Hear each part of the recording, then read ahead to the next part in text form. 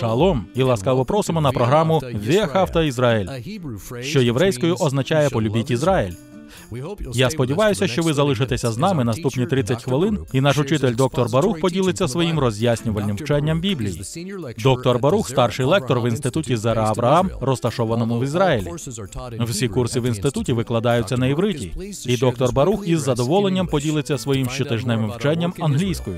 Щоб більше довідатися про нашу роботу в Ізраїлі, будь ласка, відвідайте наш сайт loveisrael.org. А зараз доктор Барух із сьогоднішнім уроком. Коли людина починає читати новий заповіт, і звичайно я кажу саме про цей заповіт, то ця людина дуже швидко виявить, що Єшуа, Ісус із Назарета, чинив багато див. а для чого він чинив так багато див? Просто щоб задовольнити потреби? Не це відкриває нам Боже Слово. Ці дива, які чинив Єшуа, були для мети навчання. Вони забезпечували об'явлення для того, щоб ми могли більше довідатися про його ідентичність і також про його справу. А чому це важливо? Бо тільки якщо ви правильно визначите, хто він є, Божий син, Ви зрозумієте, чому він був посланий у цей світ. Тоді і тільки тоді ви зможете відгукнутися на цю істину і зробити це так, що це принесе у ваше життя. вічне благословіння. Боже Слово відкриває істину для того, щоб ми могли прийняти від Бога. і, прийнявши від Бога, стати новим створінням, за допомогою чого змогли служити йому і приносити йому честь та славу. Візьміть свою Біблію і подивіться разом зі мною Євангелію від Матвія, 17 розділ. Євангелія від Матвія, 17 розділ. У 14 вірші ми бачимо щось незвичайне. Ми також побачимо уривок, де сказано про демонічний вплив, і також про Божий суд. І чи розумієте ви, що є взаємозв'язок між цими двома речами, між демонічною активністю та Божим судом? Ось що ми довідаємося у сьогоднішньому вивченні. Демони, біси діють у цьому світі. Вони нападають на індивідуумів, цілеспрямовано впливають на них, щоб відштовхнути їх від Божого, для того, щоб через неслухняність, через відкидання істини або просто через непоінформованість про Боже об'явлення вони стали приймачами Божого суду, Його гніву. Ось що захоплює ворога. І я кажу про сатану та демонів, які йому служать. Отже, подивіться цей 14-й вірш. І я згадав, що тут є щось незвичайне. Бо зазвичай в кількох місцях Євангелії від Матвія бачили великі натовпи народу. І ці натовпи йшли за Месією. Вони йшли за ним. Але тут зовсім інакше. 14-й вірш. І як вони до народу прийшли, бачите різницю? Тут вони, і ми побачимо, що вони це Єшуа та його учні. І як вони до народу прийшли, то до нього один чоловік, цей чоловік має об'явлення. Він скористався з можливості правильним чином. Тож я поставлю вам запитання. А ви, коли вам у житті надається можливість, коли Бог робить щось доступним для вас, чи досить ви мудрі, чи досить ви покірні, щоб відгукнутися на це, як Бог того бажає,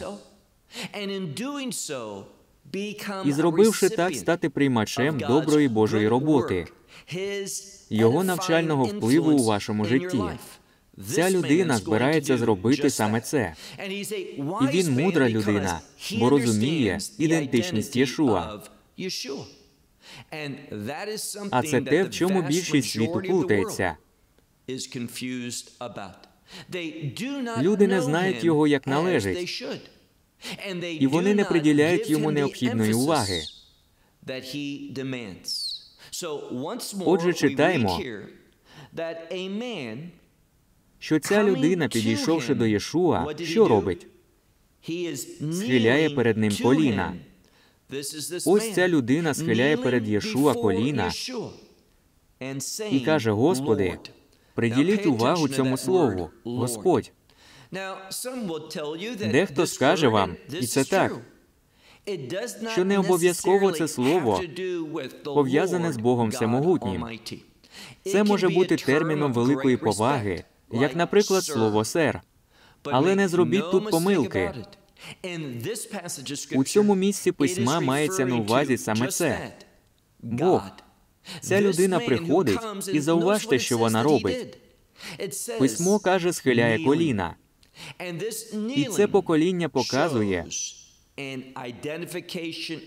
що він визначив ідентичність Месії. Що він не просто якийсь чудотворець, не просто вчитель, не просто пророк, а він син живого Бога. І тому ця людина приходить у покорі, схиляючи коліна перед Єшуа. І зауважте, що він каже. 15-й вірш. Він каже, Господи, змилуйсь над сином моїм.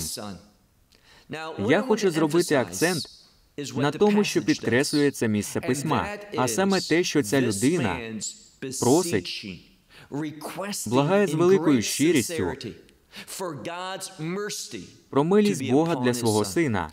Дозвольте мені поділитися з вами дуже важливою біблійною істиною. І якщо ви її пропустите, не знатимете, не застосовуватимете її до свого життя, то ви вічно шкодуватимете про це. Бо нам необхідна милість. Якщо ми не одержимо Божу милість, то не зробіть тут помилки. Ми не одержимо Божої доброти.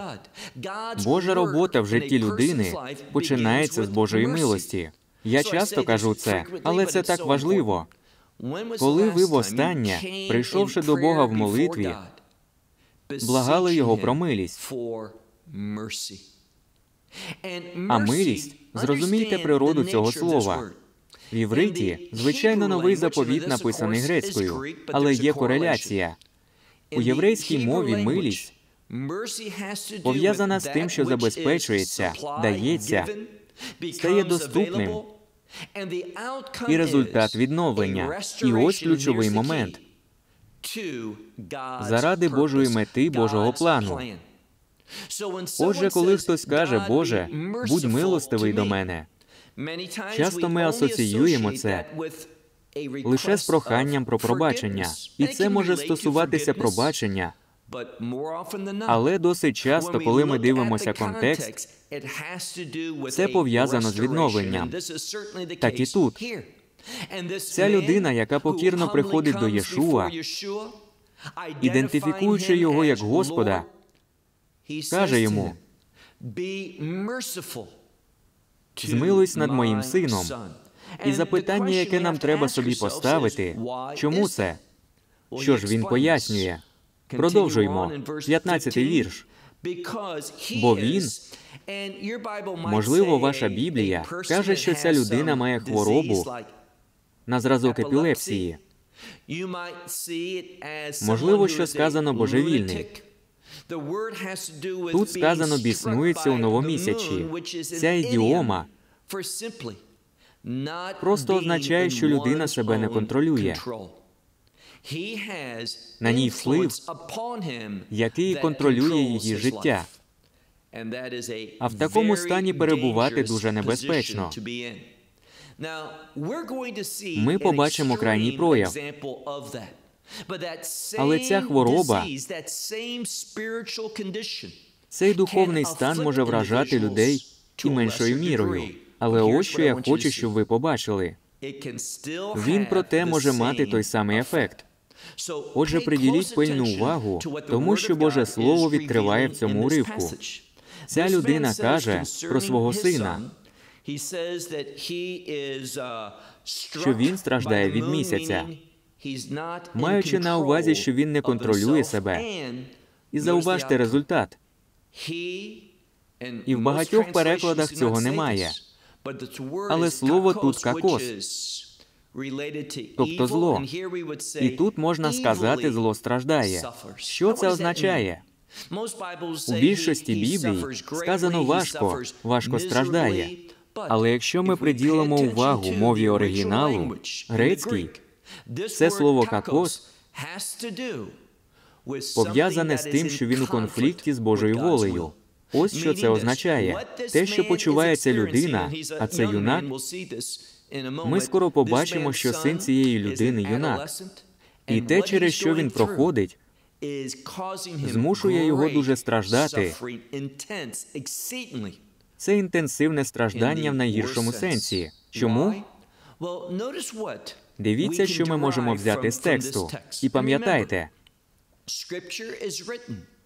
письмо написане для мети об'явлення, щоб ми могли засвоїти Божу істину і застосувати її до свого життя.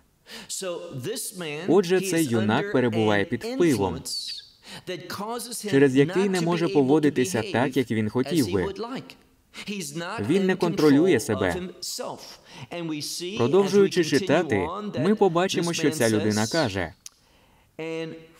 Часто, буквально, бо почасту падає він у вогонь і почасту воду.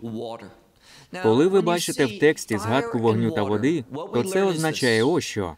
Ці два елементи, вогонь та вода в Божому Слові, часто стосуються суду. Ми незаперечним чином побачимо, що спонукає цього юнака кидатися в вогонь і в воду. Ви подумайте, ось він іде, бачить вогонь, і ця сила, ми скоро побачимо, що вона демонічна.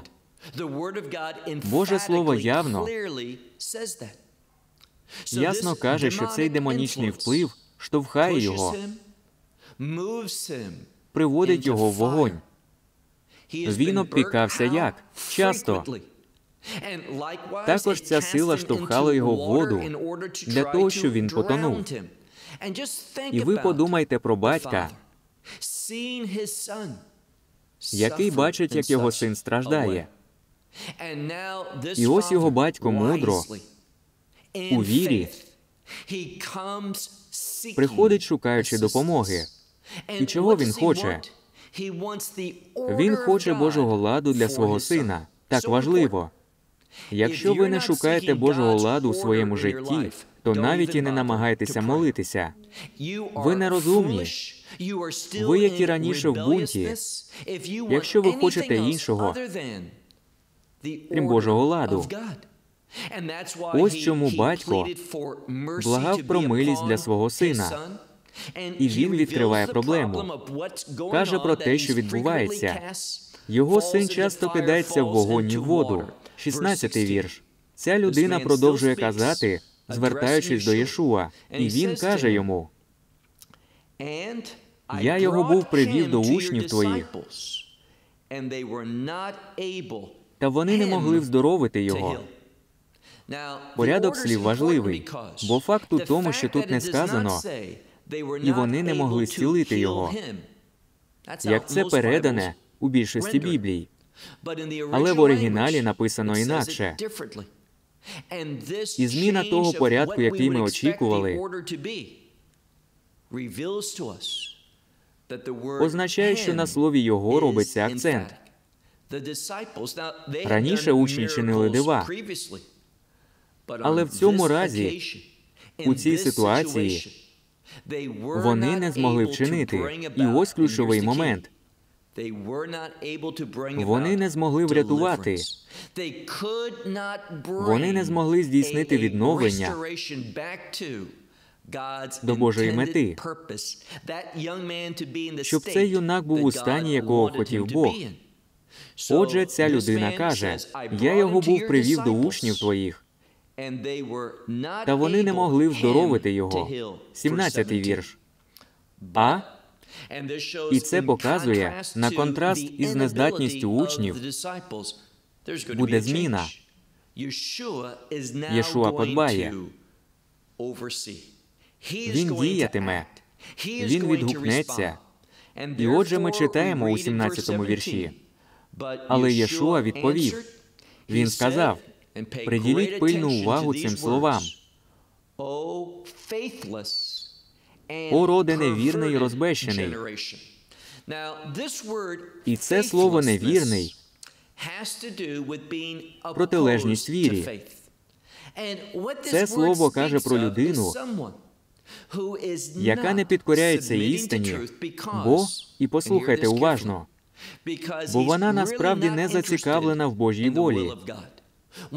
Якщо хтось віруючий, тоді його бажання, його цілі будуть пов'язані з Божою волею. Він хотітиме слухатися волі Бога. Він хотітиме, щоб Божа воля здійснювалася в його або її житті. Отже, ми читаємо в цьому уривку. Месія каже про це покоління, що воно проти істини, ці люди проти віри, вони не зацікавлені у волі Бога. І наступне слово може означати перекручене, збочене, розбещене. Це означає відвернення ще раз від Божої волі. Отже, постійно, щоденно, багато разів протягом дня нам треба молитися, просити Святого Духа, щоб він допоміг нам досліджувати себе, щоб нам перевірити і побачити, чи воістину ми шукаємо Божої волі, чи присвячені Божим цілям. І зрозумійте, немає становища кращого, ніж виконувати Божу волю, бути мотивованим Його істиною, присвяченим Його словом, присвяченим Його цілям, ходити в слухняності Його волі. Зрозумійте, бо ні в чому немає потреби. Бог досконалий, Він має усю повноту. Від нас йому нічого не треба. В усьому, що він навчає нас робити, ми робимо це, щоб принести йому честь та славу. Але зрозумійте ось що. В довгочасній перспективі, з погляду царства, це в наших найкращих інтересах. Це завжди, завжди так. Почуйте це. Підкорятися Богові Це завжди правильна дія. Можливо, спочатку й буде неприємний досвід. Але коли людина входить до Божого царства, я запевняю вас, я обіцяю вам, що жодна людина з тих, хто був присвячений Божій волі, хто виконував його мету, хто ходив у слухняності його волі, жоден з них не має ніяких жалів. А коли ви підкоряєтеся Богові, виконуєте його справи, Бог відгукується, Він надприродним чином дасть вам внутрішній спокій. Ви матимете те, про що каже Павло, мир, який перевершує будь-яке розуміння. Ви матимете достаток, і знаєте, що ще ви матимете? Те, чого шукають усі радість та щастя. І це відбувається тільки тоді, коли людина перебуває в, вибачте, у Божій волі. Можливо, ви страждатимете. І ось чому Павло каже про те, що збагнув секрет, як бути задоволеним, одержуючи мир від Бога. А слово мир пов'язане з виконанням Божої волі. Павло навчився і переживав цей мир, який перевершує будь-яке розуміння. А це означає, що ви можете мати цей мир, якого не розуміє цей світ. Можливо, ви страждатимете, можливо, проходитимете через випробування та лиха, перебуватимете під атакою ворога. Але ворог, коли ви ходите в Божій волі, ворог не зможе відібрати у вас радість. Бог дав її вам, і вона залишиться з вами. Отже, Месія викриває це покоління, називаючи його невірним, а також зіпсованим або розбещеним. І він продовжує. Доки буду я з вами, Доки вас я терпітиму. І це слово означає витримувати. Скільки я терпітиму це невір'я та неслухняність. Нарешті він каже, 17-й вірш. Приведіть до мене сюди його. Весь час у цьому уривку Акцент на цьому юнакові, синові цього батька. Щоразу, коли Єшуа каже, він наголошує на ньому. І ось ключовий момент. Коли ми думатимемо так, як думає Єшуа, коли ми ставитимемо на перше місце те, що ставить Єшуа, тоді ми матимемо помазання, матимемо силу, і Божа воля виконуватиметься. Вірш 18. Єшуа починає з того, що забороняє демонові. Про заборону. Про заборону це цікаво, бо слово забороняти, вичитувати таке значиме, що воно походить від двох грецьких слів тімео та епі. Слово тімео, яке каже про цінність або честь, або про те, що є шанованим. А епі означає на. Отже, забороняти це не просто слова. А ця заборона приходить із тим, що Месія одержує честь із тим, що шановане. І це пов'язане з Божим царством та його впливом на цього юнака. І ось ця дія заборони. Зауважте, що тут сказано. По тому Ісус погрозив йому. Хто? Єшуа. Єшуа погрозив йому. І демон вийшов із нього. Тут усе ясно. Яка була проблема цього юнака? Демон. Якщо ви віруючий, то демон ніколи, ніколи не зможе опанувати вами. Демон ніколи не зможе увійти у вас, бо ви храм, у якому перебуває Святий Дух. Але будьте обережні, бо демони можуть впливати і на віруючих. Ми можемо зіткнутися з демонічним впливом. І пам'ятайте цю чудову обітницю, і вона така: той, хто в нас, Святий Дух, Дух Божий, Дух Єшуа, Ісуса Христа, живе в нас. Він ніколи не залишить і не покине нас. І отже, ми маємо. Якщо ми підкорятимемося, якщо слухатимемо керівництва Святого Духа, Його викриття, якщо дозволимо йому просвітлювати нас, якщо слухатимемо Його істину, тоді ми будемо. Я люблю це слово переможцями. Саме такими ви й покликані бути. Переможцями. Але зрозумійте, це означає, що є те, що треба перемагати. Отже, ще раз, і демон вийшов із нього. І видужав хлопець тієї години. Тут сказано не зцілився тієї години, а від тієї години. Що це означає? Що ця справа відновлення, ця робота Месії була не так, що вона мала ефект на ту мить, а потім ефект зник. І все повернулося до того, як і було. Ні, ні, ні. Ця фраза означає з тієї миті й далі. Коли Єшуа приносить зміну, він приносить, почуйте це, вічну зміну. Він той, хто здійснює визволення від впливу ворога, від лукавого. Бо і хочу це повторити. Чого ворог хоче від вас? Він одержує, я кажу про хасатан, сатану. Він одержує задоволення, задоволення від того, що людина, яку любить Бог, за яку помер Месія, що ця людина знехтувала Божу істину, відкинула Божу Євангелію. Сатана та демони діють так, щоб підвести вас під що? Під Божий суд.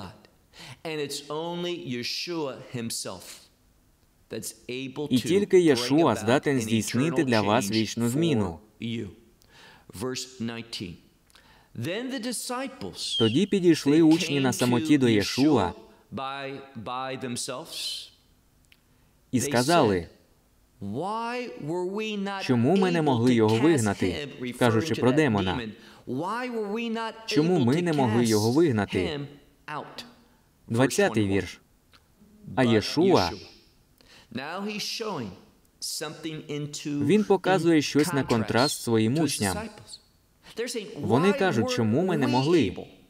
Ось послання. Дозвольте, я наведу вам приклад. Одне з того, що зробив Даниїл, І одне з того, що зробив Йосип, син Якова в Єгипті, ці дві людини у вигнанні щось зробили. Вони були великими тлумачами снів. І що вони сказали? Ми не тлумачимо сни, але ми знаємо Бога, який це робить. І Бог дасть мені це тлумачення.